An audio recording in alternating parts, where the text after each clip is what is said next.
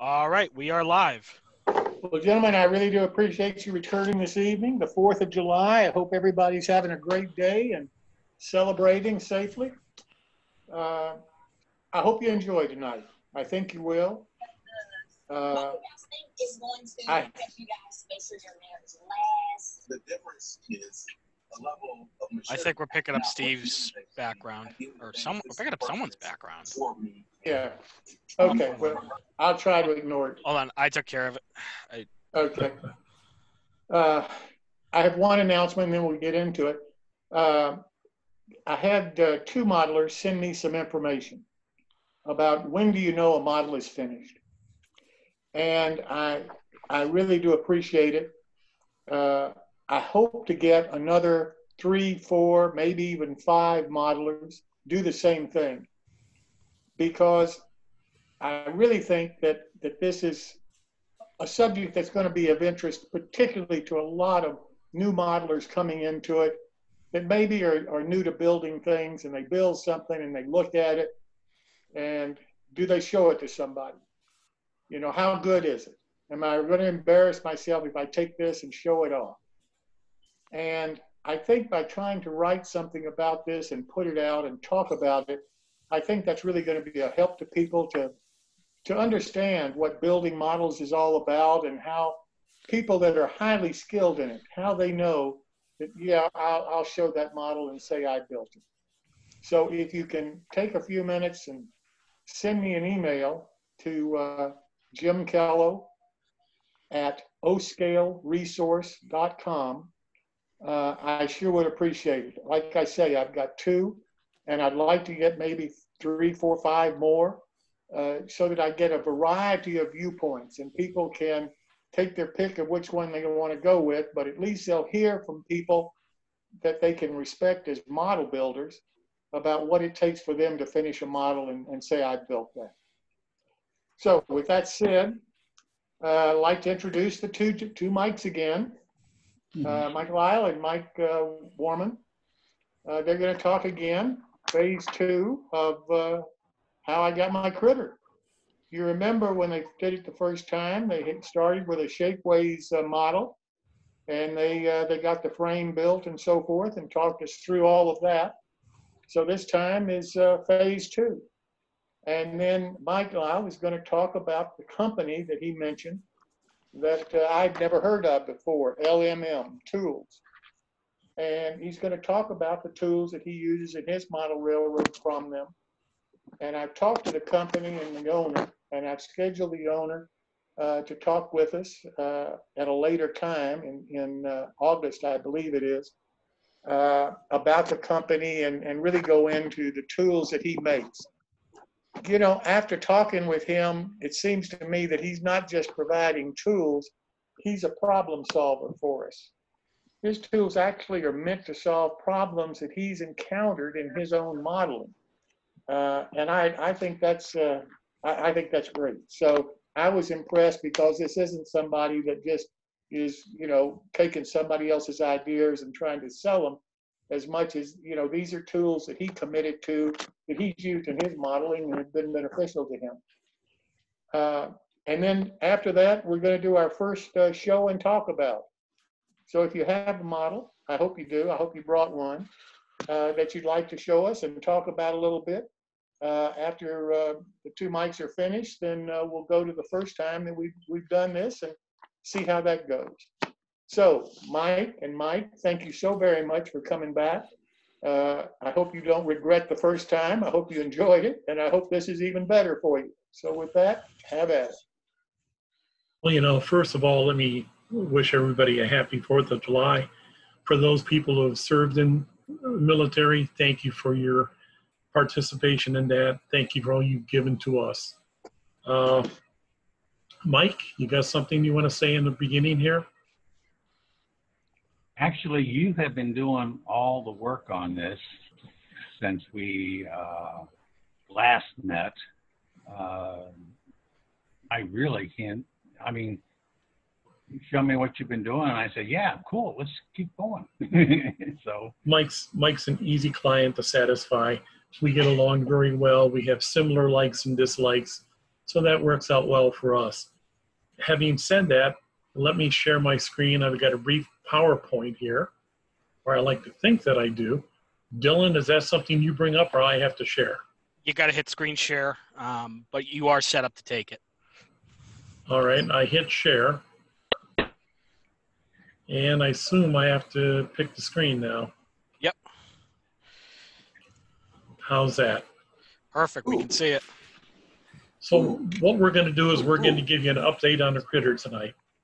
Uh, from what you saw last time, we've made some improvements, some enhancements, and brought at least the upper portion closer to a finish here.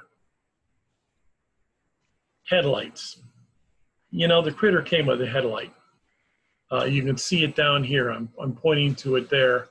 Uh, it's not a very impressive headlight. You know, what are we going to put on it? So I gave Michael several choices, and I showed him this one mounted. I built a little platform for it out of uh, uh, 5000 brass and got it set up because the nose slopes down, so you couldn't just set it on a flat box, so to speak. But that aside, Mike chose number four here. So I took number four. Uh, I'm sorry, I just lost it here and I don't know why.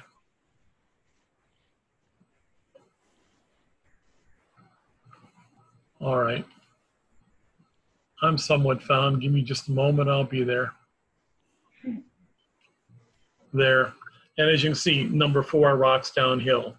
So what I did is I took number four, I took a file to it, and I filed the shape of the light stand that came with it to the profile of the engine so that it would sit square and point straight ahead.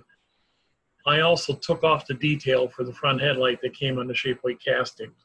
I went out and bought some 1 8 diameter evergreen. I tapered it just a little bit to create a plug, put a little epoxy on it, slid it in until it's seated, let the epoxy dry, clipped the end off, and then I took some very fine files and started to profile that light to the existing hood around it, and in no time at all, it was gone. I also did an update to the air cleaner here. Uh, let me go to a little larger picture. Man, that's not it. Looking back at it, it sits within a containment frame. It also has a bottom flange. So I took some 32 thousandths uh, brass. I cut a strip that was uh, 0.2 by 0.2 square. I soldered it to the base of the air filter. I then took my files and profiled it to create just a basic flange. And again, I took some 5,000 brass, and you'll see up here, this is one of the items that I bought from UMM-USA, John, who's going to be a presenter here in August. That's a little handheld brake. So I took some 5,000 brass, I measured it out, I cut it out. Um, this may sound funny. I use a I use a heavy duty X-Acto blade to cut this 5,000 brass, and I'll talk to you a little bit more about that later when I'm talking about the tools. But I use X-Acto's newer Z blades, which I think is uh, electrodeposited uh, zirconium. It only takes me eight or nine passes on 5,000s to cut through it. Gives me an extremely good cut through it and allows me a very accurate cut, better than what I can achieve with a pair of shears. Yep. I also updated the, uh, the radiator here. You can see I put a frame around it, uh, soldered the brass cloth on top, built a frame, and again, uh, here's that same handbrake in the background. You know, years ago, you used to be able to go to S&K Engineered Products, which is a manufacturer and distributor of brass. And they used to do brass angles from 132nd, I don't know to how big, I'm going to say a half inch big. Well, three, four years ago, they stopped making the finer sizes. Uh, I think the smallest you can get from there now is a quarter square angle. So each leg of the angle is a quarter inch. I needed a 16th of an inch. Uh, so I just simply took 5 thousandths brass, cut a piece out that was an eighth inch long, put it in that little handheld brake, folded it in half, and I ended up with a 1 16th by 1 16th bent angle. You can see it there in the picture. It works great. And I'll show you that at the end here and talk to the, the as one of the tools. Door latches and hinges. There's not a lot to show here. These become the hinges. It's 32 thousandths brass rod. I measured what they had for a hinge length in the model. I cut repetitive hinge lengths for all of the engine doors as well as the cab doors. And then I took some, again, same 32 thousandths brass. I did a right angle bend on it. I then put it into my Weiss folder and gave it a couple hardy squeezes and flattened it out. So you can see it's a flattened out image. That became my door handles. Handrails and grabs. I, I showed you just a quick and dirty last time. Here's the start. Here's the side grabs for the side door. Over here was the um, handrails down the side of the engine, but you know, it needed to be further developed. Now, when it comes to handrails, uh, it's going to sound odd. I like to work on plywood. I, I take a ballpoint pen, I take a T square, I take a triangle, I draw the image that I want to repeat. I use a ballpoint pen, I go over it twice, and a ballpoint pen gives me just the finest little fillet down that plywood so that when I roll that piece of phosphor bronze there, it rolls right into that fillet and stays there. I use a little bit of painter's tape, the blue painter's tape, tape it down, assemble the pieces, and solder it all together. They come out well. It's very repetitive. It creates a unique template. Uh, I've been thinking about, I've had so much fun doing this, I thought about doing one of these for myself.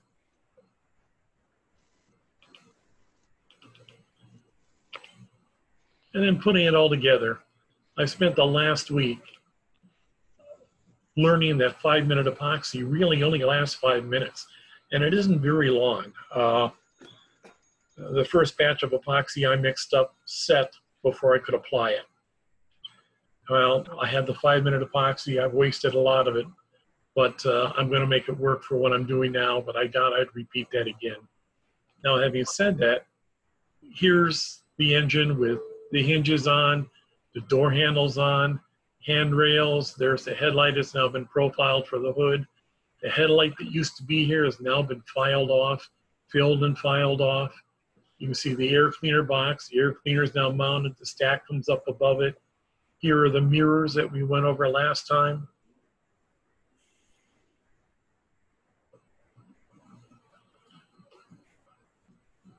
Let's see.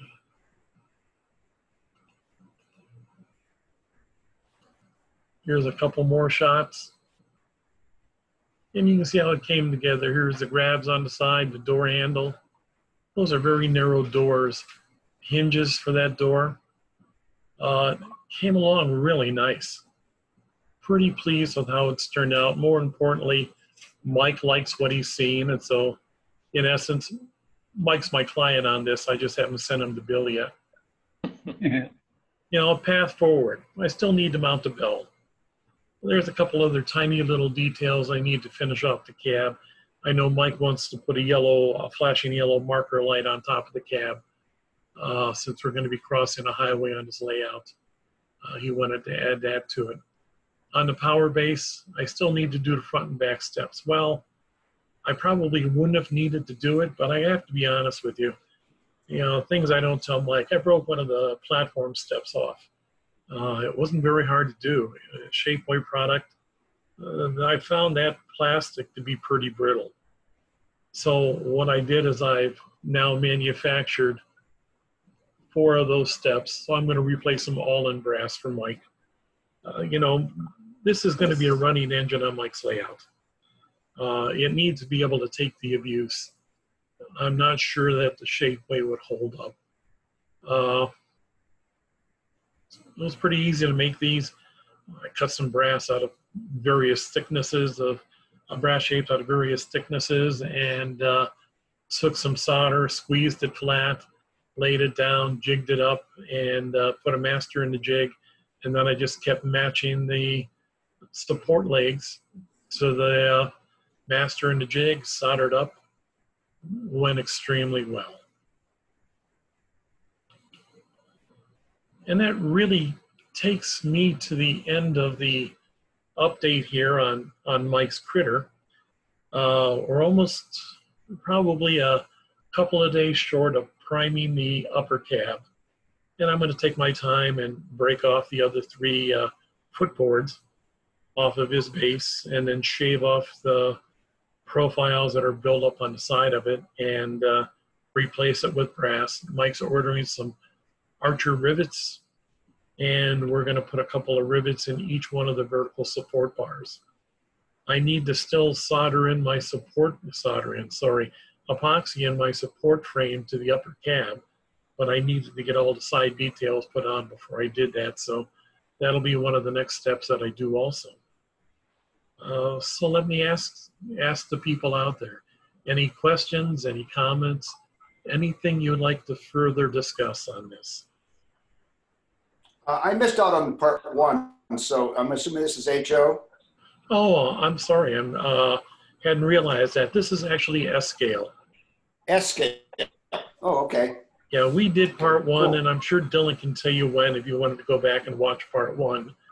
Uh, in essence, we made a sub base for it to support a Stanton drive, a method of attaching the upper cab to the lower base. I made a lot of modifications to it in order to get the couplers to set at the appropriate height to match with everything else. So it was, uh, it's been a lot of fun. It's been a nice project. I'm glad Mike has shared that project with me. Yeah, uh, Mike? GE20. Go ahead. Go ahead, please. I was just going to say, uh, GE 25 tonners are, are fun little engines to build. I've built uh, one oh and three, Oh, very good. Yeah, they are. I I- mean, which I might can- I might share on show and tell. oh, I, I hope I didn't. Uh, No, I'm sure no. it, I'm sure as a finished model it turned out well. I'm anxious to see it. It'll be nice to see what somebody else has done. You know, the 25 tonner. If you look on the internet at the pictures that are available of it, what you find out in no time at all is you can do almost anything you want because it was a small enough locomotive. It sat and worked periods of time repetitively and then probably sat and remained idle for a long time until the next service. You know, Mike is doing an elevator, grain elevator. Uh, typically, their time of year is the fall. Engine stays parked almost all winter, almost all spring, and waits for that harvest to arrive. Uh, and then shuttles cars and works its little heart out for a couple of weeks in the fall. Uh, so, what I guess I'm trying to say is, you find that those are often changed. They all have a personality of their own. There are very few that are sitting out there as delivered from the factory. When I, when I lived in northern Arkansas, there was a Cal Ag plant there, and they had uh, a critter like this. And I kept trying to get permission to go get near it and take pictures of it. They wouldn't let me on the property. Yeah, you know, social liability being what it is, and it's such a litigious, such a litigious state out there right now that people are very hesitant on letting you enter property. Uh, I've been very lucky in places that I've gone, uh, seen critters that I have. I have a, uh, I work for an engineering company. I have a project coming up here August, mid-August, in a steel mill in mid-Ohio area, and they have a whole yard of little shuttle critters out there, some Alco S2s, uh, some Fairbanks Morse engines, all been converted over to run uh, run off of a DC power generated at the steel mill. So I'm anxious to have the opportunity to go down there. This is a large project. I'm going to be all over that mill. These sit on the back side of it. I'm sure I might come away with a photograph or two. Good. Good. Yeah, you don't oftentimes get those opportunities, but uh, uh, it's a lot of fun. Yeah, well, back back when I lived in Arkansas and uh, I visited Arkansas Lime Company, uh, went to their office and asked for permission. They said you can go anywhere you want on the property, but inside the quarry itself. And they were just very friendly and very open. They were glad to share whatever they had. And they ran a narrow gauge railroad into 2000. Oh, nice. Yeah, that's pretty nice. Unfortunately, I didn't get there till 2002 when it was standard gauge. you know, but you, anyway, you run across those people from time to time who are extremely nice, very kind. Mm-hmm. You know, years ago we had an S scale manufacturer who needed photographs of the back head of a 280, a consolidation. And so, you know, uh, all right, I had helped this manufacturer out. I converted some drawings from uh, uh, AutoCAD into a printable file. I made PDFs for him so that he could reproduce them and, and look at them. And so he tasked me with trying to find a backhead. Well, there's the Central Ohio Railroad owned by Jerry Jacobs. I'd never really been down there. This was before he set up the Age of Steam Roundhouse. Uh, and by the way, if you're ever in Ohio, try to try to take that in on a weekend. It's phenomenal. This is somebody's hobby at one to one scale. Mhm. Uh, wow. yeah, he built an entire. He had the Amish come up, hand you in beams to build an old-fashioned roundhouse, and it's probably 22 stalls Wow. Uh, with a 120-foot turntable, an old Baltimore, Ohio turntable. I forgot where it was out of. Uh, it's just phenomenal. Um, but I got sidetracked as I often do. I called up Central Ohio Railroad and I spoke with this foreman and I said, "Hey, is there any opportunity that I can come down and take a few photographs?" And he says, "There's there's only a couple of rules." He goes, "Sure." He goes, "I respect the fact that you called and didn't show up at my doorstep." Two, as long as you're not going to sue me if you fall and hurt yourself on this property, that's fine with me. Three, you can have access to anything you want out there. It's all covered up with tarps right now. Promise me you'll recover them as you found them. You can have run of the run of the plant out there. And we spent an entire Saturday down there taking all of the photographs that the vendor needed and then a few more. And if that wasn't good enough, he, as we were checking out, we told him we'd come back in and check out with him, and we did. And he goes, You'll notice all the brass gauges and the bells and the whistles and the horns were off all of the engines. Would you like to see them? Oh, well, hell yes. And so he took us in the back room and he says, You know, it's a shame we have to take these things off the engine simply because people want to steal them. And so he took us in the back room, and here, little did I know at the time, not only were there a bunch of whistles and, and bells to their engines, Jerry's hobby was also collecting steam whistles.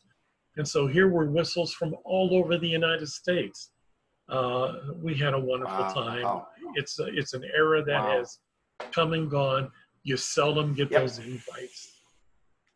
Right. Yep. Now, having said that, let me true.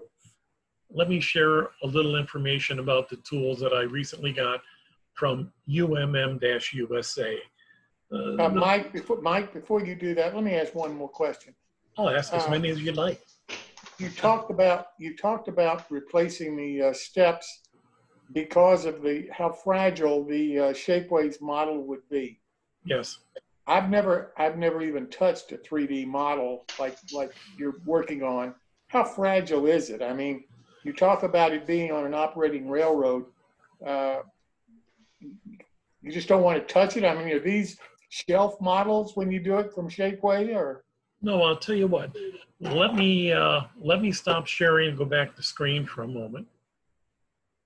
And uh, I'll. All right, should be back to screen. Is that correct, Ellen? Yeah. All right, here is the model right now.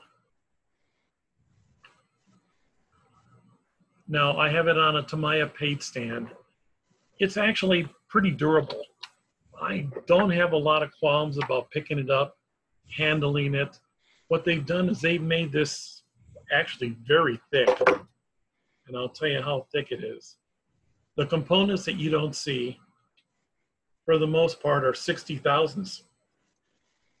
Jeez. Yeah, there's five, uh, there's 50 thousandths. Between 50 and 60 thousandths thick. And I don't know how well that comes through to you. Yeah. What I found, Jim, is here's the stand, the power base.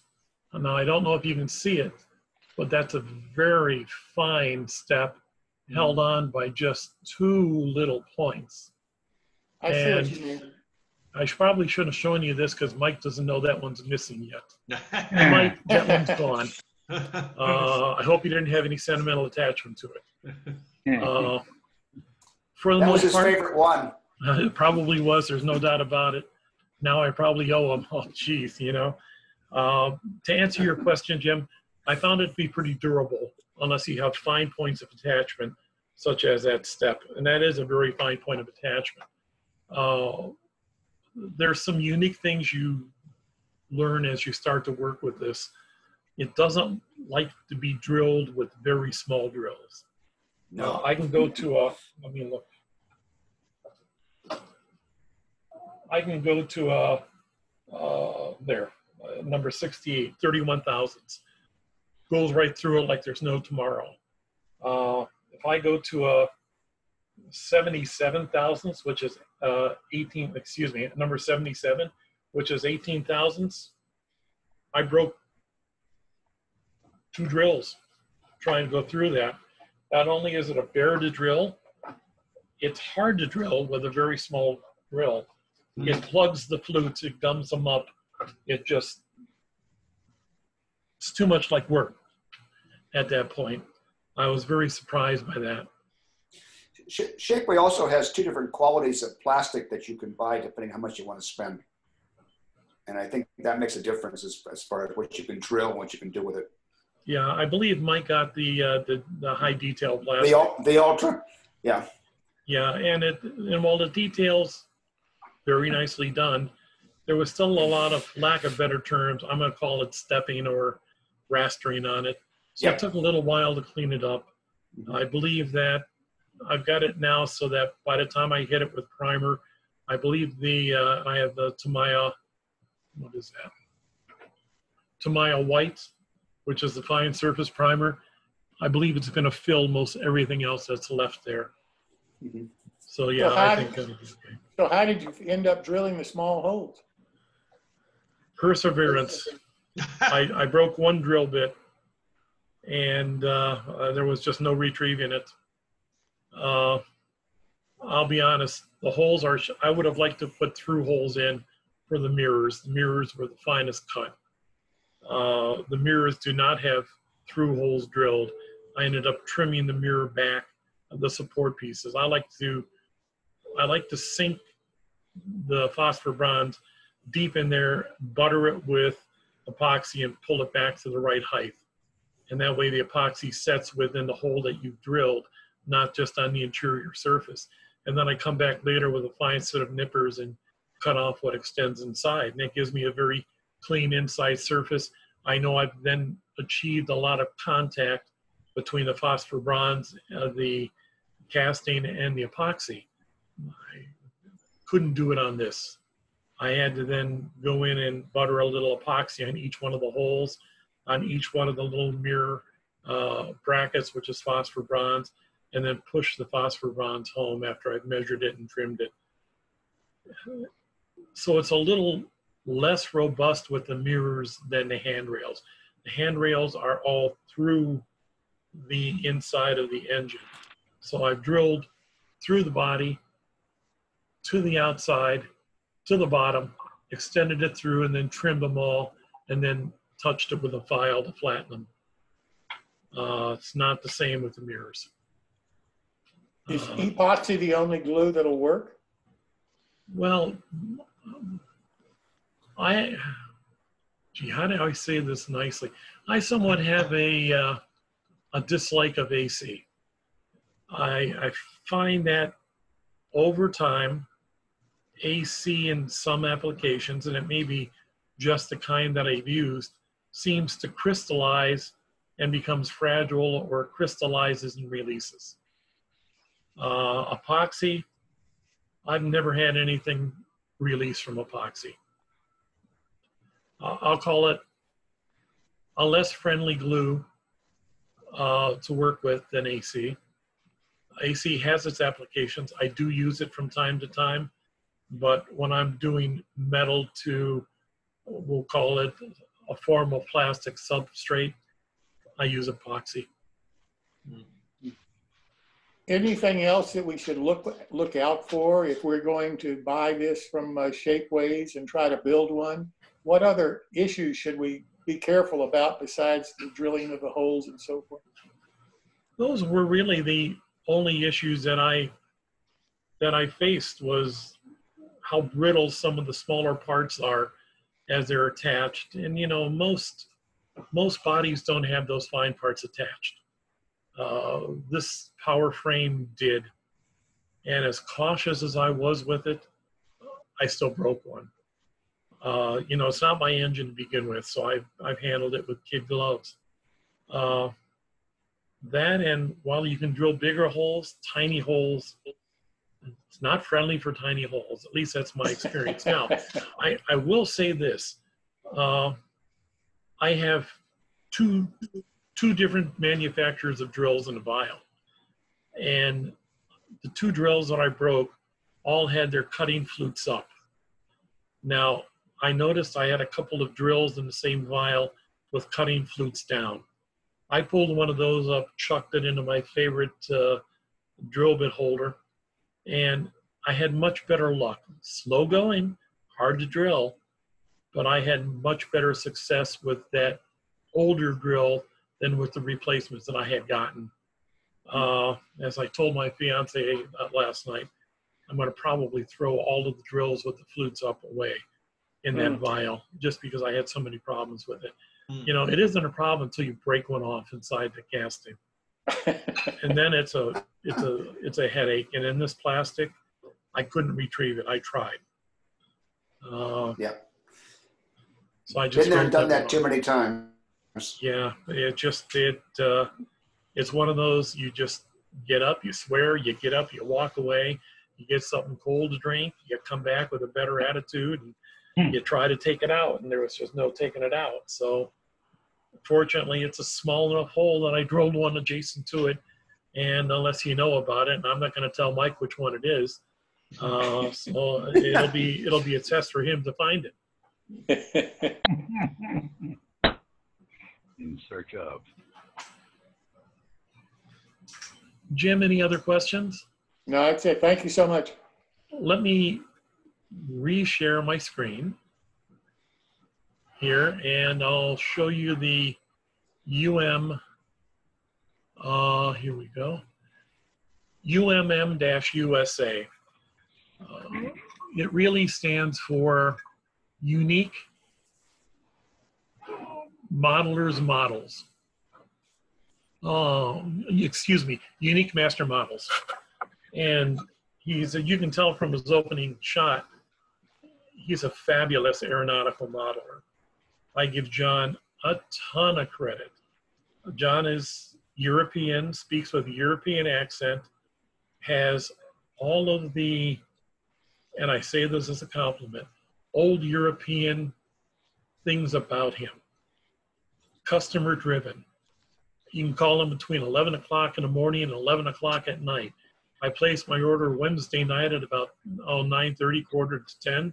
He stayed up till 2 o'clock in the morning, wrapped it, created a, a pickup label for it so it would go out first thing in the morning. I had the tools that I bought Friday, ordered them Wednesday, ordered them online, paid for them online, had a problem, had to send a second order. Uh, you automatically default to a second shipping fee. So he packaged it all in one package and refunded that instantly to my account. I have nothing but praise for John.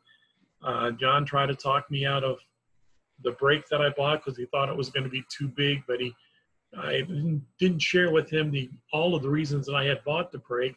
But he's not the kind of guy that's going to go in there and hey, you can buy this for 20 bucks, but for 28 bucks you can buy this one. It's not his nature. Uh, very good guy. I hope you enjoy him when you get him on here in August. And I'm delighted. Uh, I accepted Jim's invitation to uh, to introduce him because I enjoy John. Now, 15 years ago, I bought this saw. Turns out that my buddy Mike Warman has the same saw. You know, I was cutting a lot of plastics. This thing has a kerf. The cut of this saw is less than six thousandths wide. It's blades, top and bottom, as you see it there. And you have the ability to stack the blades. So if you want to make parallel cuts, you can make parallel cuts all at the same time.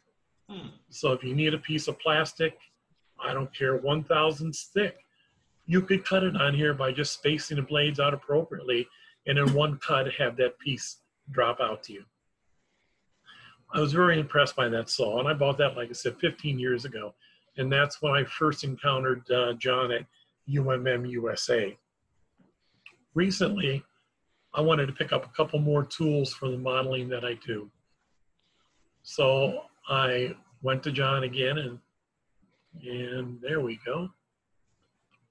And I bought a set of small miter boxes. Mm. Uh, the one on the left is about a quarter inch. I'm going to get that wrong. The one on the left is about a half inch wide. The one in the middle is about a quarter inch wide. And this one is set up for tubing, doing right angle cuts on tubing. But if you'll notice on here, these are really set up for 90 degree cuts, 45 degree cuts, and 30 degree cuts. And, you know, these are things that John made a number of years ago.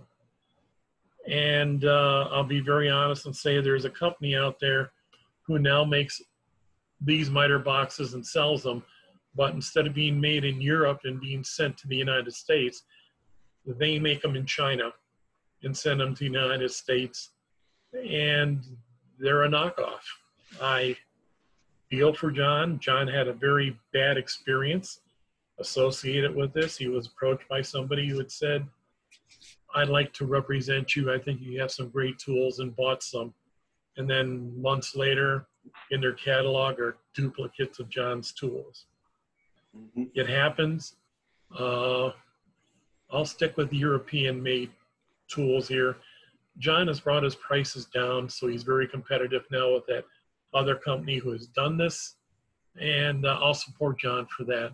And the other thing that I bought, as I said before, is oh, come on. Technical difficulties, I apologize.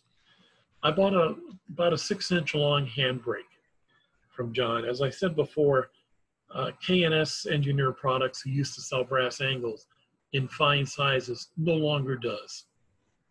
Uh, I needed to make some angles in order to trim out that radiator for Mike, and I needed a good excuse to buy a few more tools, don't we all? Uh, so what I've done is I've taken five thousandths brass, I've cut it eighth inch wide. I chuck it up into little handbrake.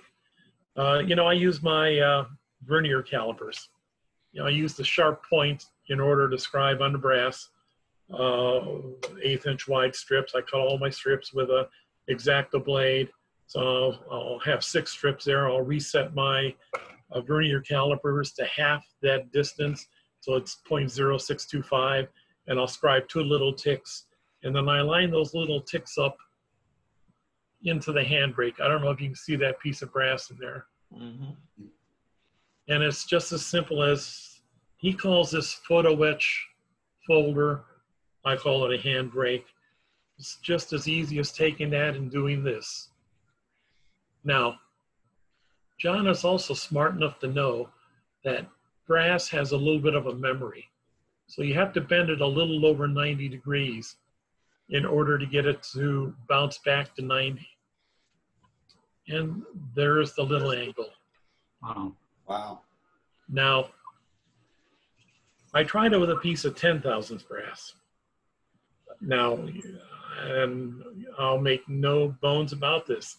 Is sold as a photo, photo etch bender. A photo etch bender is five thousandths or less. It folded that 10 thousandths. It struggled. I put a little bit of a divot in, into the bottom part of the brake. It was never advertised to fold 10 thousandths. I used it beyond what it was advertised for. I suffered the consequences. Now, what I haven't tried and what I want to try soon is I want to try to uh, cut some strips out of 10 thousandths. I still need some larger angle. I'd like it to be a little bit thicker than 5 thousandths because actually I want it to be structural in nature. I want to be able to provide some support from it. So I'm going to dead soften a piece of 10 thousandths uh, to a strip. I'm going to put it back in a brake and see if the break will work on softened 10 thousandth brass. Uh, if not, maybe I'll talk to John someday and see if he's willing to make one that's a little more heavy that would allow me to make some thicker brass parts so that I can continue scratch building. I had met a fellow last year in uh, Indiana at the ONS scale show. A very talented individual.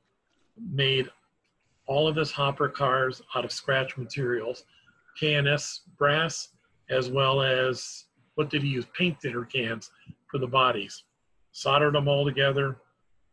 I can't remember his name. I want to say it's Bill Schwartz. Did a great job, but he feels that he may have to retire because he can't get the brass. Uh, so I want to be able to go to the show this year and take along this handbrake and take along some brass and let him play with it. It may allow him to continue making the models, though the brass that he was buying is for O scale a little larger and was 14 thousandths thick, whereas this is really made for five. And I'll hold these up. You've already seen the catalog for them. These are the little miter boxes. You can see the little stops in there. There's a stop at 45, 90, and 30 degrees. That was the large one, which is about a half inch. Here's the little one I've used an awful lot. Now, those are extremely fine cuts in there for the miter. Uh, I use my new saw. It's an old new saw, but I use my new saw for that. The blade that I have gives me about a three to four thousandths kerf, so it fits inside that miter perfectly. Mm. It allows me to cut whatever I want to cut at whatever angle, whatever degree I want to cut it. So the tool works extremely well with what I need to allow me to accomplish what I want. Uh, like I said, John puts out a very good tool. I'm very pleased with it. Uh, Mike, Yes, that is actually designed though for the, uh, the little saw you showed earlier, the little, uh, one you had for like 15 years. yes. Yeah. that- And it those was. Little No, boxes. Yeah, you're 100% right. He designed it for that saw. Right. Now, Right. there are upgraded blades I'm going to share with Mike here. I bought some stainless steel blades from him. Now, those are all photo etched to achieve a cutting surface. Uh, they're a lot more durable than the old, I'm going to call it carbon steel blades that he had. Uh, but yes, you're 100% right. They're really set up to take that saw and to work with that saw. But it also works with the fine the real fine blade on the newel saw that I have. Uh, now, I will say that I bought all of these tools from John. They weren't given to me for a review. I have no complaints about any of the tools that I've bought from John. So, you know, this isn't a, uh, I'm trying to give you an honest opinion on uh, my take and my use of these tools. Uh, so I'm very pleased with them and I'll, I'll show you two more things, uh, not related to UMM USA. Uh, you know, it's always nice to look at what other people do and what other people use. Uh, I went to a beading shop. My fiance likes to make her own bracelets from time to time. And so I'm in this shop that sells beads. And the young lady sitting there and on her work table is this little plastic frame that holds pliers. Oh my gosh. It's called Beadalon, B E A D A L O N. I have several of these, and it does just such a fine job of holding the players to be organized. Uh, it's those little finds that every now and then you get lucky on. Now, as Mike Wells knows, I like to solder. And uh, I have a number of the old Radio Shack spools of solder. They're 12 thousandths, 15 thousandths thick. Instead of chasing a roll around the uh, work table, I took an old paper dispenser and has just the right size holder, and I just pull my solder off that little spool as much as I need, clip off what I need, or allow it to continuously feed. Someday I might even get, uh, uh, you know, it's always these engineer minds. I tend to overthink things. I thought about putting in a small brass tube to allow it to spool out and pay out so it wouldn't flop around. Yeah, that's down the road. But I use a tape dispenser to, to dispense my solder. It works wonderful. Anything I can answer for anybody about those tools? What's the price range? Uh, oh, you know, I should have mentioned that also. Uh, the little one, twelve dollars. Okay. The break, I don't recall, but I'll tell you what, I could go back to share screen and think the prices are there. I actually bought That's okay. I was gonna say I bought the three miter boxes together as a package. Uh, let's do this and let's do this. And of course, the price isn't there. I'm gonna say I paid thirty dollars for the three. Now, uh, as I said, John is old world European. Each one of these miter boxes came in an individual plastic envelope. They were all gathered together in a Ziploc. They're all gathered together and put into a heavier Ziploc. That Ziploc was then put inside of a mailing envelope that went inside of another envelope that went inside of it. He had four mailing envelopes, heavy cardboard envelopes, all put together as the outside package. It was like it was like playing with the Russian doll. I opened up the first one, there was a smaller envelope. I opened up the second one, there was a smaller one. I opened up the third, here was another one. I opened up the fourth, and out came the plastic bag, the Ziploc bag. I unzipped the bag, and out came four or five Ziploc bags, each with an individual element in it. This is what he does, I guess, between 11 o'clock at night and 2 o'clock in the morning. I've never received something that was packaged as well as this was. I was, you know, I'm, I'm glad I didn't try to video the unboxing for you. It would have taken a half hour. Wow. Anything else I can answer for you? I've, I've used these for two or three years and uh, I use them on every model. Oh, are they the UMM? Yes. Yep. Oh, very good. Yeah. Yeah, I uh very impressed by his by his products. I have no complaints about it. I have some replacement blades, Mike, that are from CMK, Czech Masters kits. Oh, Haven't used them yet. Are you familiar with these? I believe I am, and I believe that's actually what I have in here now. Okay. No, I don't. I'm sorry. This is uh I bought these from UMM and they're called H A U L E R Hauler Hot Tools and they're a stainless steel. Okay. Yeah. In fact, uh I'm trying to think I uh bought, I bought them through UMM, but they're made in uh, the Czech Republic. yes. And I wanted to say I thought that's where his original blades came from. hmm Uh, no, it doesn't say. But yes, this was out of the Czech Republic also. The original saw was called a JL, J as in Joseph, L as in Larry, C as in Charlie. And uh, if you go to his website now, you'll also find the stainless steel blades, which are very durable. Yeah, here's the package that my knife set came in, JLC. Oh, there you go. Yep. Just updated packaging. I have the older ones. Oh, like I said, I've had my saw 15 years. I've cut a ton of styrene, a ton of plastic with it. Yeah. Fenton And- Wells put me onto these a few years ago. He's uh, he's a scratch builder, kit basher, primarily for freight plastic freight cars, styrene freight cars.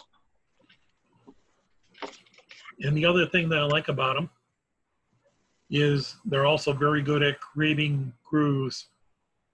If you need to create a seam in the plastic, you can drag this saw, put it up to a single tooth, drag it a few times, and it will carve in a nice little groove. Hmm.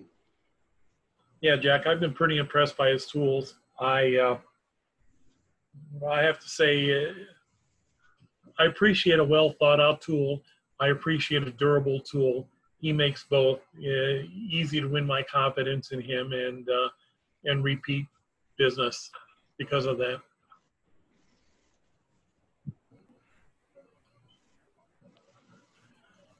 Well, gentlemen, the, re- the reason that, uh, the reason I invited him to, uh, to appear on the show was, uh, after hearing what Mike, uh, said about him. And it took me three telephone calls, uh, before I could convince him. And I had to talk to a very close friend of his on a conference call, uh, to finally convince him to, uh, to maybe try our show and to uh, be willing to, uh, I guess, stick his neck out in the model railroad community again. Because as Mike says, his first outing uh, did not sit well and did not go well as far as he was concerned. So he he really hasn't quote been in the model railroad community. Uh, he's very large in other hobby areas, but just not the model railroad community and listening to Mike talk about it, and then after personally talking to uh, John myself, I really think his tools were designed to solve problems. Uh, he doesn't like for me to call him the problem solver tool maker, uh, but I do think that's exactly what he is uh, creating for us and for the ho- various hobbies. Uh, because he he had a need, he made a tool, and uh, that that's where you are. And I think if we have a need and he doesn't have a tool that he thinks will work, I think he'll make us a tool. That's why I think he is a true problem solver for the hobby. And I hope that if you get a chance that uh, uh, you won't miss his appearance and, and uh, talk to him about uh, the tools that you need or the tools that you'd like because he's a nice guy. Uh, and I, I think you'll be impressed with him when you meet him. Jim, what is the uh, date of that August meeting? Hold on just a second. I'll have to try to find it for you. I've got it here on my telephone.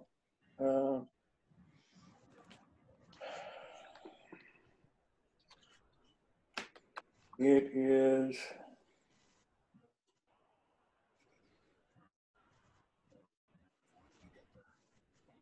August 29th. He's going to be here and uh, a close friend of his uh, who writes for Fine Scale Modeler. I don't know whether you all are familiar with that publication or not. I subscribe to it uh, because of, of uh, I'm- interested in what other hobbies are doing and what modelers in other hobbies are doing. And I've written about some of the model airplane hobbyists uh, before. And I recently wrote about one guy that uh, is a model uh, plastic car modeler. And some of the techniques that they use and some of the tools that they use in their hobbies, I think, have applicability to uh, to our hobby.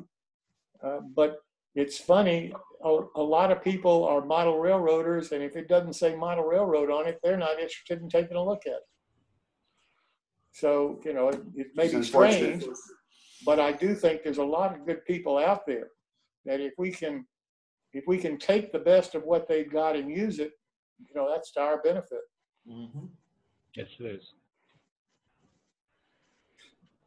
So anyway, I hope that uh, you'll try to save it. And the armor- The armor guy, And Bill's cutting out again. Yeah. I couldn't understand him. Yeah, I I, I caught like I- I caught like a vowel. that they. Bill, I was just you have- saying that, Bill, you have, uh, Bill, you have my email. If you have a question, email. me. Okay, okay. Okay.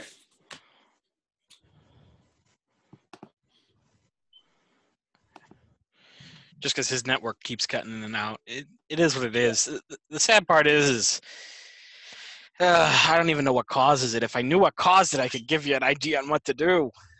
Well, as I mentioned, there's a storm going through this area. Um, Dylan, you might want to mention the chat option. Oh, there's an idea. People can just type in a chat question also. All right. That's a good point. So yeah, um, Jack basically covered it. There is a chat bar in here, so if you guys have a question and want to add something, but you don't want to interrupt, uh, feel free to type it out. We have it. It's a tool for us. Might as well use it. Okay. Mike, I really do, Mike, the two mics, I really do appreciate you guys coming back and doing this again for us. And if you have anything else you'd like to add, now would be a time to do it. Well, I, I, I'd like to speak for Mike also here. We've had a good time with this. This has been uh, a very good experience with everybody that's out there. Everybody that's out there has been very kind to us in regards to the questions, in regards to the comments. Uh, give us a couple of months, we'll have this painted.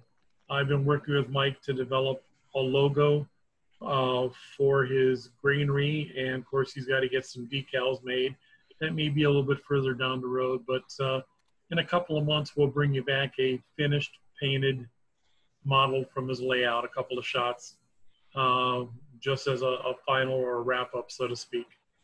Fantastic. Look forward to it. Well, again, thank you for all of you for allowing us this opportunity to share with you what we've been doing. Uh, Michael, I was excited about doing this when Rob showed me uh, two years ago. He had brought that uh, model over to a, a show, and I thought, man, we we could do this. You know, this this would be really cool. So I thank you, Jim, for letting us do this. Uh, Listen, it's no thanks due to me. It's my honor to, to you guys to be here. I can't thank you enough for taking the time and to want to do it. Uh, I, I think it's fantastic, and I can't thank either both of you enough. All right, so let's let's try something different tonight. Show and talk about. Anybody got a model they'd like to show us and talk about? Well, I got something to show if I can talk. uh, uh, Dylan, why don't you uh, click on share screen? Yep, share screen. Okay. All right. If you have to, I'm wondering if I'm wondering if your network's just having an issue with the video and the audio at the same time. Could could be. As, as uh, Jack says, there's storms in the area here too. Been off and on today. So, uh, okay, share screen, share.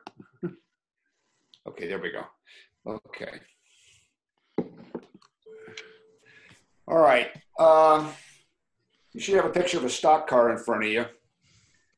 This is uh, a scratch-built stock car. It was uh, written up in O-scale trains. Um, it was. Uh, it's all styrene. oh, That's styrene. It looks like wood. That's styrene. What scale is it? Uh, all, all my stuff is O scale. This is O standard gauge P48, Okay. and that's the underframe of it. That is very well detailed. Thank you. This this here is a uh, Carolina Craftsman kit. Uh, I uh, highly modified it, changed the roofing, uh, added the tin sheet to the front where the prototype was done, uh, and added added the sidewalk chips in front from Tom Yorke. Uh, added window screens uh, to the wind and in addition to the side of the building and one to the back.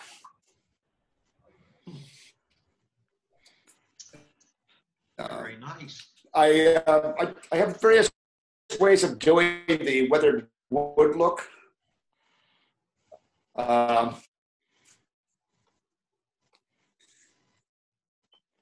I don't like using uh, rubber cement or anything else that- peeling of paint. peeling uh, paint effect. Uh, I like to use either a dabbing the paint on or doing a streaking effect of weathered wood. In the 80s, when Grandt came with the contest with uh, the uh, Gazette magazine and Grandt Line had a contest of do something with the Porter kit, and this is a model of the Mishkal Lumber Company, number 11. Uh, other people have done this engine, but this was the first time uh, using that kit. And Mike, for you, this is a this is a Chivers kit that uh, I modified to resemble the, in many ways, the Arkansas Lime uh, Company engine. Uh, did quite a bit of uh, redetailing on it, a lot of cutting away and uh, uh, adding pieces.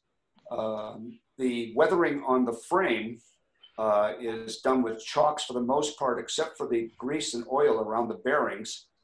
Um, I, I, used uh, uh, AK Interactive, which is a military modeler uh, company, uh, grease and oil to create that grease and oil effect. Huh.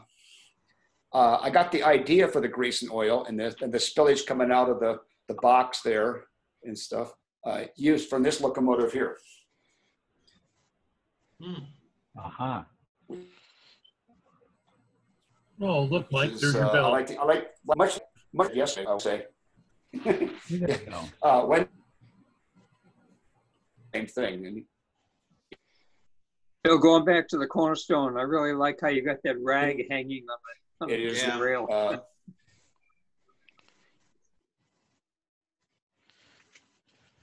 And Bill's cutting in and out again.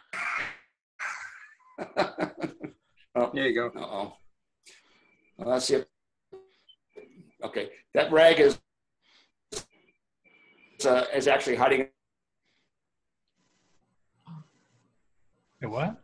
to it. I have yet to add LED lighting to it.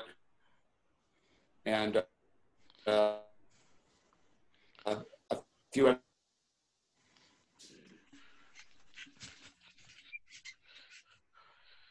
So if I caught that right, he hasn't added. You haven't added the LED lighting yet. bumper.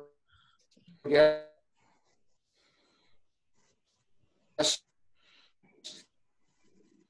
Uh, the way the coupler is located, those are.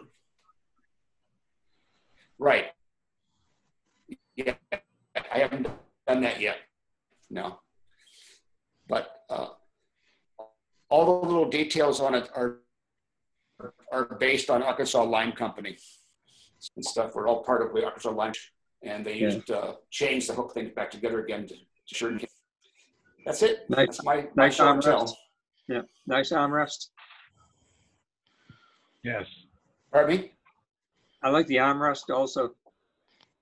The Oh, engineer's yeah. armrest. Oh, oh, thank you. That's just a, a, a casting. Yeah, uh, that's just a casting uh, from uh, Precision Scale. Mhm. And that's that's it. Fantastic. Thank you so very much. Anybody else? I'll take. I'll, I'll take one. I've got something. I mentioned it in the past when I screwed it up. You guys might remember that little. So, basically, this is what I'm working on. It obviously, if you can't see it well, I apologize. Um, let me screen share the prototype real quick. All right, you guys can all see it. Yep. Okay. Yeah, out of sight. Wow. So I this is the only picture of this anything related to this company I've been able to find. It was a Hmm. plaster company out of outside of Las Vegas. And somebody on the ON30 group had sent this and posted this and said, "Oh, this would be kind of cool." I'm looking at it and I'm like, "That's a Porter." Because the company's what little I was able to find is that Porter built this. So I have a copy of Porter's light locomotive catalog. Basically, their narrow gauge stock locomotives that they did like the you know the different industrial locomotives stuff they did to mainline patterns stuff like that i went looking in the catalog and i couldn't find a single thing that even resembled this so my best guess is that this was a custom build that's my best guess because there's there's nothing that even remotely looks like it in the in the catalog Hmm. there is a similar wheel arrangement but the locomotive is like three times the size and it's standard gauge. And I'm like, wait a minute, what is this doing in the light locomotives catalog? So I figured, okay, what what in the world could I use for a chassis for this? And um, well, I just happened to be looking on eBay. I'm looking at HO scale 080s, and I found two Northwest Short Line Southern Pacific shop switchers. And I'm looking at it, I'm like, and then it just kind of hit me. I'm like, that's exactly what I need. That's the chassis. So I bought them both. Probably paid a bit too much for them, but I'm like, I'm not letting them go because I want to build two of these. So let's hop over to my CAD program. You guys can see it a bit better. So basically, I'm like, okay, it doesn't need to be exact, but I want to make something similar. So I've got two versions. I got the single piece body. We forgot your Zoom meeting. I got the single piece body that I designed, figuring okay, just because I'm like, oh, I'm wondering what it will cost. And then I've got the three piece body with the body, the rear frame, and the cab, and then the pilot up there. So the idea was let's make something similar, and it doesn't need to be exact, but let's. If it's a one-off porter, then you know what are the odds that you're anyone's going to recognize it or realize what it is anyway? So you can't really rivet count with it. So I'm like, okay, that's good. Um, the first one I screwed up royally. So where you see the second row of rivets to the front, that is right about where the front of the tank was originally. Mm. I screwed up measuring royally, and I mean royally. Those of you that remember when I brought it up, basically what I did is I made it about 20 millimeters too short. So I get the parts. I'm like, okay, let's test fit them. And the smoke box is back over the second driver. And I'm like, okay, what in the name of God did I do there? Couldn't figure it out. So I'm like, mm, okay, it is what it is. So the problem I'm running into now, the original one, once I got that one fixed, I noticed that, well, for one, the rear frame needed to be reinforced. So I redid that. That's these little bars under here. And this block was meant to help level it. Well, it leveled the body, but then I made the block a little bit too tall. so this is just a comedy of errors on my part, but hey, you learn by doing it. And the problem is, you know, my printer's still down. It's not like I can print the parts myself. You know, my printer basically needs an overhaul at this point, and I can't even get into the garage at this point to do it. It, it is what it is. Not much I can do about it. So what I'm going to probably do is I'm probably just going to lop this block off or part of it off on the, the frame and the single piece body just so it will sit level and then I'll just shim the smoke box saddle. Um, after that, I'm, I'm going to paint one of these myself. I, I personally like brush painting with Tamiya acrylics. They actually, when you thin them out enough, you can't see any brush strokes. It looks like a sprayed on paint, which is good. I'm going to send one of these to a professional because I want it to look nice. So I'm basically going to send it to Al Judy and say, here, can you make this look pretty for me? Not to knock my ability. I can paint stuff. I I had a a while ago, and I need to figure out what I did with it. I had a Pierce Tool Company USRA switcher, the big burly 080 they did back in the 40s. And I put one of those together. I never finished it because I couldn't get the mechanism to work right because just everything kept binding up. But I did all the paint work on it. And I did that and I you couldn't tell it was you know brush painted. I've got a Santa Fe from, you know, third rail that I've got basically sitting in limbo because I need to figure out well, crud, when I did the um when I did the 080, that was already all in pieces. So I painted it and then assembled, you know, the running gear. Well, um, the Santa Fe I've got, which frankly, it's in the other room. I'm not going to get it because I'll, with my luck, I'll just drop it because it's not even held together by screws right now. So my uh, and, that's the other one I'm working on is how in the world am I going to paint this without getting paint all over the running gear and it just looking like crap and I don't know. I, a buddy of mine is looking for one so he could do a Central of Georgia engine. I'm like, well, if you wanted it, you can have it. But if I end up finishing it, it's a Boston and Albany engine Mhm. because. But that's a that's a whole nother story. We're focused on the 080. I'll be honest with you. Like I said, I can't find any bloody other picture than the one I showed you guys. And it irritates me to no end. Because how many of these small companies do you run into when you're doing your mm-hmm. research that there's nothing? You run into it all the time. It's annoying as all hell Yep. because then the reference books they reference are this like book made by a local historical society that has basically been out of commission for years that you can't find copies of because all the co- they only made like 100 copies. And they were made before world war one and printed so good luck finding one. That's basically that. Um as a no- like i said i'm basically gonna once i figure out I, I need to get my rotary drill working again because that is just me me and power tools don't mix. I will be totally upfront. Now, I'm designing this on my computer because that's my strong suit, and I'd rather play to my strengths. I tried scratch building a boiler when I first started, figuring, okay, I'll just scratch build a boiler. I'll, I'll make the barrel, and we'll add all the details on it. Well, I'll be nice and happy. Um, calling it a, a an, an abominable failure would probably be underselling it. That's the boiler that taught me I can't scratch build anything to save my life. Thank God for CAD. But that's that's basically what I'm working on is trying to get this thing together.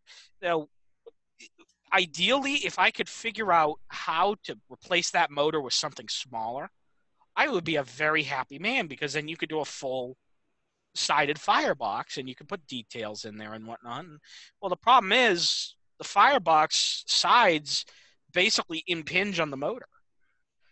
Hmm. So unless you replace that motor, you can't have a full firebox. You're going to see the motor when you look through the cab window anyway. Which okay, it is what it is. It's 0 and 30. We're not perfectionists. We're as long as we it looks right and we're happy with it, I, I'll live. It's just I, I took this one apart and then I ended up t- putting it back together. It is, it's not like a straight motor mount, like for a can motor where you've got the you know the screws that go into your motor, and um, you know it screws right up into it. It doesn't do that. It is a basically a molded brass flange that mounts to the corners of the motor, and good luck and i am not smart enough to figure out how to make a motor mount where everything's going to line up right. I'm smart yes but i'm not that smart. So it is what it is. I may end up sending this to one of the people I, have worked with and say hey can you figure out how to remotor that for me because he deals with chassis all the time and he designs chassis. Is he over in england? Yes. Could this take six months to get back because of the postal service? Also yes. Yeah. believe me when i with the international shipping just on a total side note here the international shipping system is a god damn mess. It really is. Like like um when i bring in mechanisms from europe because i use them for a few of my kits well what used to take two weeks takes two to three months Mm. before it leaves frankfurt and then who know and then if it gets into new york new york city has basically become a black hole Hmm. and good luck getting anything out of there in a reasonable amount of time i got nothing I, I can't control that so i'm stuck with it so if i was to send that out and say hey hey uh, joe schmo can you remotor this for me um i'm only calling him joe schmo because i'll be honest with you i am I, I think the long day is getting to me and I just can't even remember his name even though we talk all the time. it, it's it's sad. It's it's sad. I'm I'm not gonna I'm not gonna lie. That's kind of bad, especially considering I helped him design the superstructure for a trench locomotive, Hmm. which is sad. Um, he's a guy who owns local. Uh, Mark Clark. There we go. That's his name. He, he's the guy who owns locos and stuff over in England. He does a lot of, you know, professional grade locomotive kits. Um, I'd probably send this to him and say, "Hey, can you figure out how to remotor this?" Because he'd at least know how to design the mount and what motor will fit. Me, mm, not so much. And then there's the other issue you've got. You know, with one pole of your motor, you're one to an insulated pickup strip on one side of the engine. On the other, you're picking up power from the other side of the frame. And, well, I have no clue how I'm going to isolate the motor because there's there's really no space to put in like a rubber spacer in the motor mount so that way it doesn't pick up power from the uninsulated side of the frame.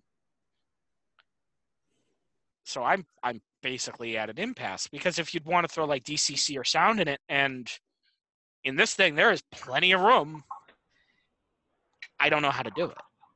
It's it's becoming more of a long-term project, but mm-hmm. it's how do you answer those questions because that's you're you're one of the things you run into in ON30 a lot is you're limited by your chassis.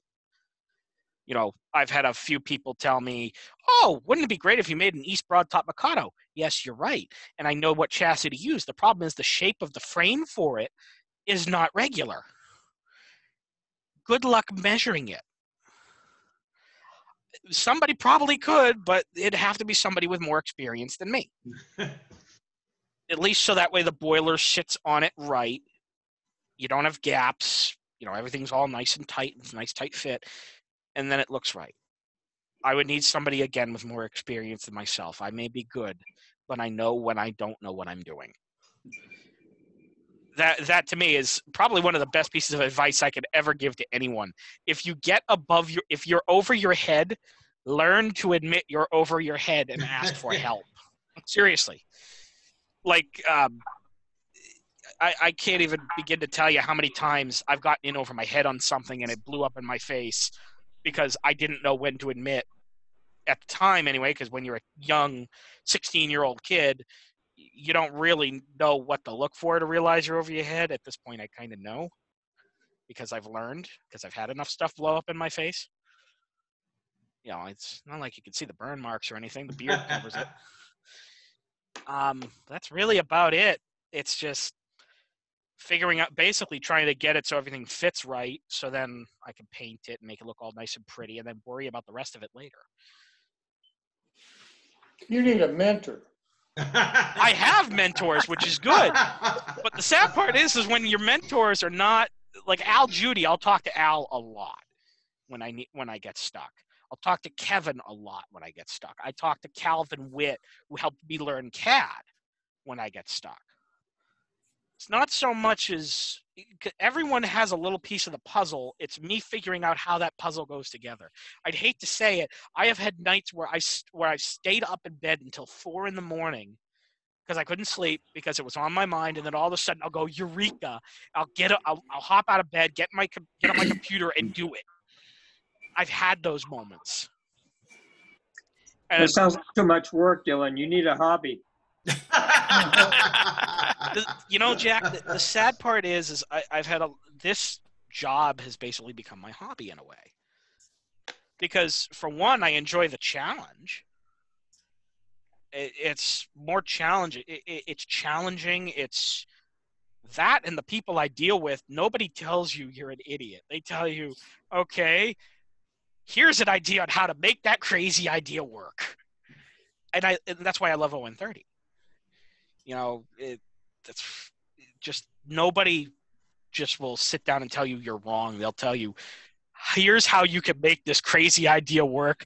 Here's how I've done something similar in the past. So here's the idea. Um, but Dylan, I'll expect to hear from you how you know the model is finished. It'll be finished when it's painted and I can run it forwards and backwards and nothing falls off. That's my standard for good enough on this one.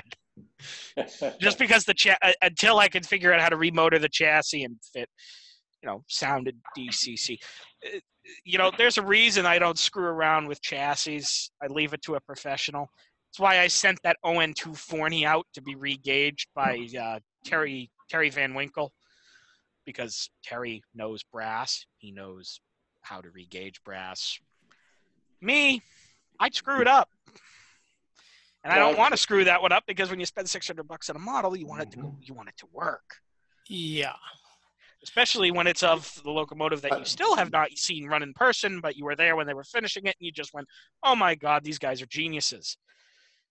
Seriously, if you guys ever look up the Wiscasset, Waterville, and Farmington and the work they had to do to rebuild number 9, and you you'd you'd look at their CMO, uh, Jason Lamontagne, you you'd probably look at this guy and you you just assume he's another guy but the amount of brain power they basically had to put into correcting every single little fault with this engine, faults that have been on it since it was built. So that way it could run safely because they just ran it like that. You'll look at him and you'll go, dude, where have you been all my life? where have you been in the preservation in, in the preservation community? Why why don't we have like 10 of you? you'd wish you could clone the guy. Very smart guy, and and I and I will say this about the Maine guys. There there seems to be a congregation of genius around the Maine narrow gauge museums, as far as the mechanical side of things go. I mean, they're literally they're building a locomotive from scratch at this point. They're rebuilding another one. They've designed a new boiler for it that's bigger than the old one and it still fits the chassis and they they're they're brilliant. They really are. I i can't say enough about them but then again when you see the handiwork and you realize oh hey they were just supporting the locomotive's weight through the firebox and the firebox was just all there's all these cracks in it you're like no that's really not safe. What they do? They basically redesigned it with a frame around the firebox that's what they did on number nine and that's on top of basically correcting the cylinders because the cylinders were different sizes from construction. Correcting wheels, making two wheel sets that are not the same, si- that are just a hair off on size, making those work together and run square. They seriously, these guys are brilliant. Like museums across the country, you, there there could not be enough Jason Lamontagnes and and, people like him. There, there's not enough of them to go around. But that's a completely different ramble, and I've been rambling. Uh, D- Dylan, Dylan? Yep. What's the name? What's the name of that company again? The plaster company? Uh, the plaster company, Arden Yeah. Plaster Company, A R D I N. A R D E N. It was outside of Las Vegas. Okay. Like I said, that engine uh, it doesn't even show up as a pattern in Porter's catalog. That's It, it's okay. I have a. I have a. I got a friend in the Vegas area who's a who's a model railroad person. He might be able to find some information. Oh, if he can, I would be very happy. Mm. Because I'd like to know more about it. You know, supposedly it went out of business in 1912 because there was a fire or something. That's what I that's the impression I've been left with, but I don't know how accurate that is. It is what it is. Yeah. There's a lot of those little companies that are out there in the desert. When I used to live in uh, California, I spent a lot of time out there, and uh, there's a lot of really cool little railroads that ran in the desert out there, especially around Death Valley.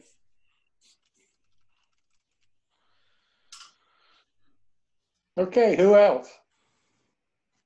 Dylan, if you figured out how to take the motor off of that uh, unit, I have. It's four screws. The problem is, it's not like the screws line up well with another motor.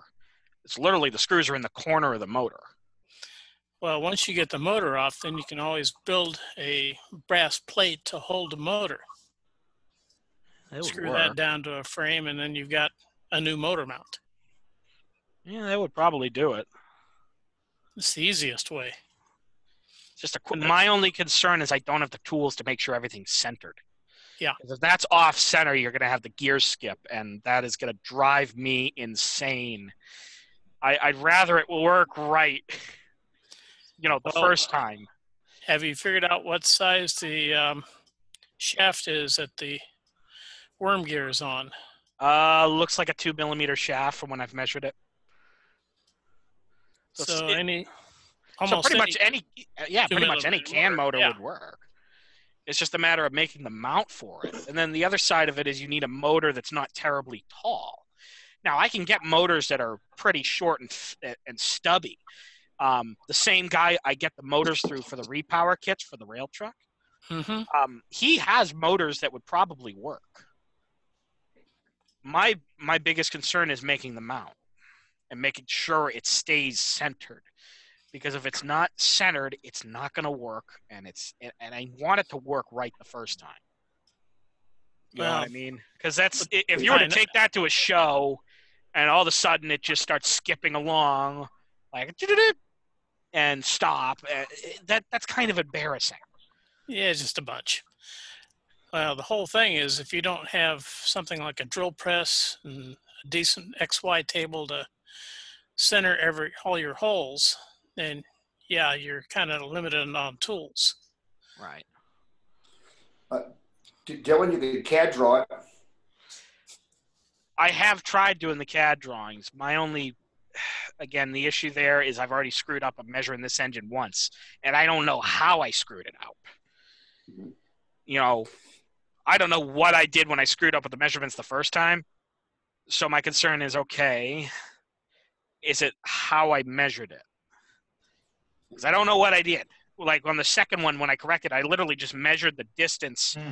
from the center of the smoke box saddle to the center of the smoke box saddle and the boiler and just lengthened it accordingly. So without knowing where I screwed up, I'm a little bit leery to just jump at it. You know, 3D printed frame, you know, a nylon frame would just mean you can insulate it a lot easier. Yeah, that but would you, work. What you need is more of a brass frame to mount the motor solid, and a can motor has insulated um, windings anyway.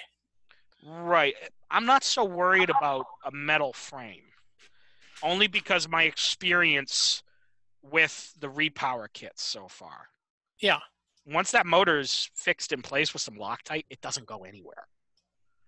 And the frame, it's not like it's fragile either. It it, it could take it, it it'll stay where it needs to stay. It's just my my leery on what I screwed up on that. And it's try once i figure out what I did, I can fix it you can fix it. Yeah. Right. Well, I just pulled up the Porter catalog again. Probably. Let me see if I can get this to. Ro- I'll probably have to save the picture so I can rotate it. Let me see. Let me rotate it. I wonder This if it could is- possibly be a, a uh, What was that, Bill? a- it, I said, I wonder if it could possibly be a Glover locomotive. Nah, It was listed as Porter. And this Orders. Yeah, it was listed as Porter built, and from the looks of it, they used a standard Okay. the standard 080 chassis, but with a way smaller boiler on it. Like this is the one. Let me screen share it real quick. This is the closest thing in their catalog I found, but it's way too big. This is a 42 inch gauge locomotive, so okay and it was built f- suppose according to the catalog this is an example of one that was built for use in japan i think well that's too big to be the Arden engine the boiler is way too big the cylinders are way too big you know what i mean so i i don't know if they just like cobbled it together from stock parts they had made a custom frame and boiler that's my best guess I, I, I like like- to think. Of, go ahead. I'm sorry. it's just i would love to know well you know maybe it is a glover who knows if it's a glover that would explain why i haven't found anything in the porter catalog that looks anything like it that would explain a lot but this is the closest thing in the porter catalog that even resembles it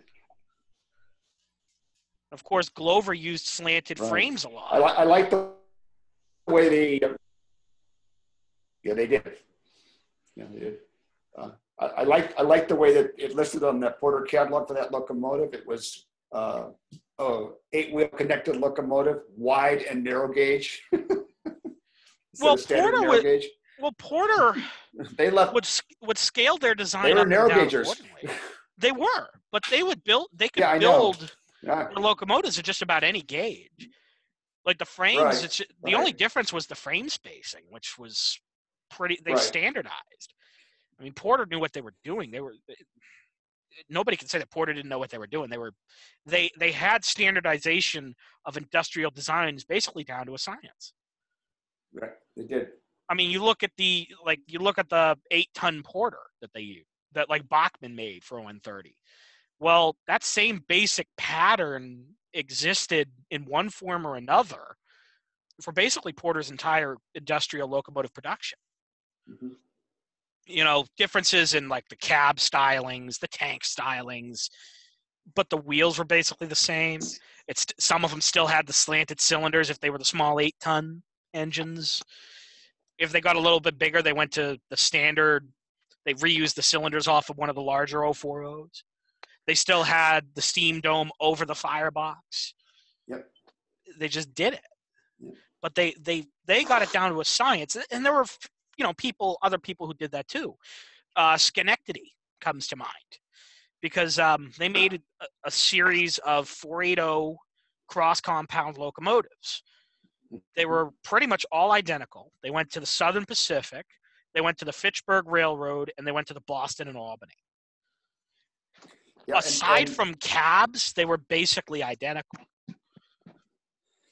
And an- another company was good for that kind of stuff was Carter that made uh, rolling stock in California. Yes, this is true. Uh, they they had, they had a standardized design and they they just tell you the, the metal parts and you cut your own wood and stuff. Yeah. And let that and that's why you got so much Carter variation. It's like, oh, Mhm. these are Carter parts, but yeah, we Yep. cut the wood ourselves. Yep, exactly. Yep.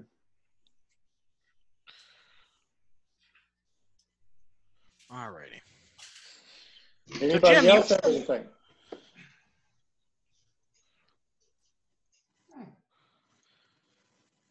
Well, listen, this is, uh, this is run on. It's about, uh, time for us to go, uh, watch the fireworks if there are anywhere you all are. So, uh, thank you so much for coming. Next time, uh, Dylan has arranged somebody that I think is really gonna be special. And I'd like for him to introduce him, but before he does, I want to mention something. I had a modeler call me up and say, why don't you take the last 10 minutes of your show or 15 minutes of your show and let a modeler run his railroad?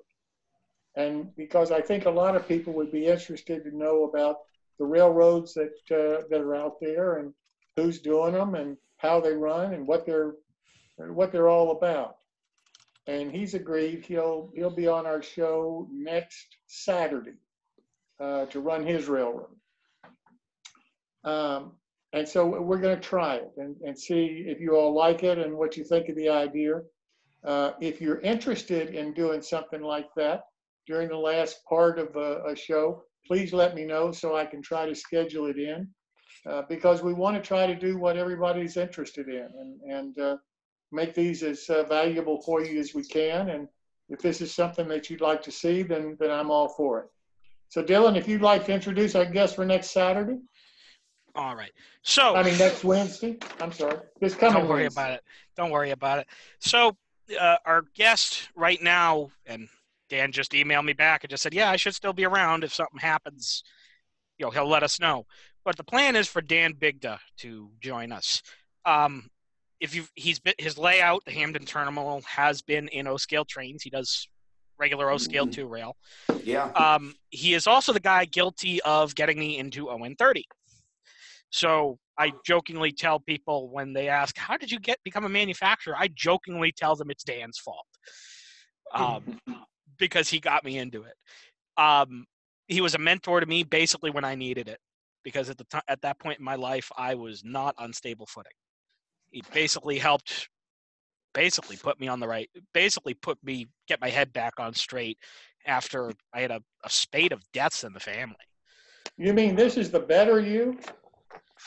I get, yeah, this is the better me. he, he he's tru- truly a good man, a great a great modeler, a, a close confidant of mine that I've gone to for advice. Um, he, I, I do think when we talk, you guys are going to find it quite enjoyable.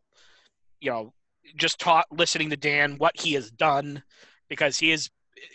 If you come up with a list of what he's done, he for his day job, he basically does rail car leasing. Um, so he'll do lease fleets and whatnot, stuff like that. He's worked for Lionel, so he's done model building as well. It's it's going to be a very interesting conversation. He's a very a very enlightening guy to listen to.